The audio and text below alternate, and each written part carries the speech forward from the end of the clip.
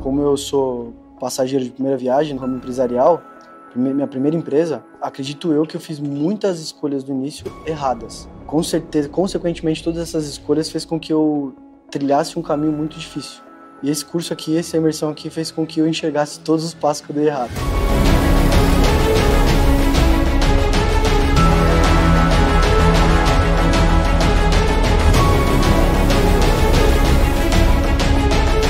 Que nós encontramos o caminho, porque é muito mais fácil ter aí um caminho com alguém de mão dadas comigo. Aliás, eu até contratei a mentoria deles para a empresa, porque eu achei incrível a didática e a dinâmica que eles levaram o curso esse, todos esses dias, o conteúdo, a expertise também, então foi incrível.